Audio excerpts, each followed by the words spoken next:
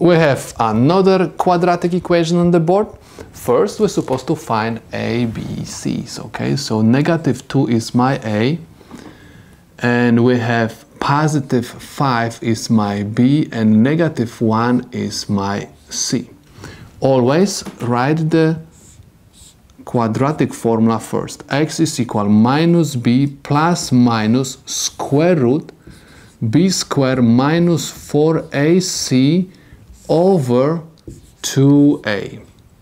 And this is equal negative, this negative comes from the formula, and my b is positive 5. I have plus minus square root, and I have b squared, which is equal 5 squared minus 4 times a, which is equal negative 2 times c, which is equal negative 1.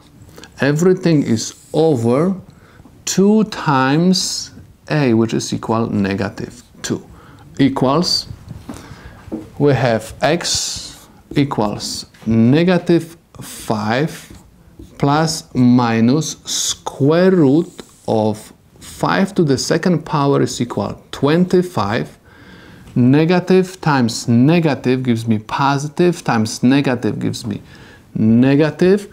4 times 2 is equal 8, times 1 is equal 8, so that's why I'm going to have negative 8 over 2 times negative 2 is equal negative 4. So I have x is equal minus 5 plus minus square root 25 minus 8 is equal 17 over negative 4.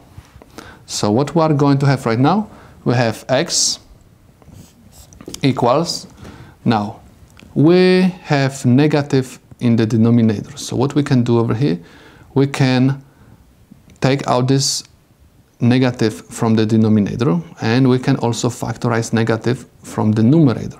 So if I'm going to factorize the negative sign from the numerator, I'm going to have negative sign and I have 5. So positive is going to change to negative and negative will change to positive. Square root of 17 over negative 4.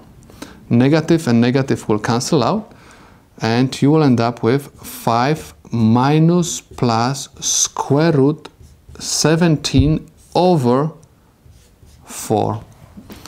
So I can say that x is equal 5 minus square root of 17 over 4 or x is equal 5 plus square root of 17 over 4 and these are the solutions to my problem.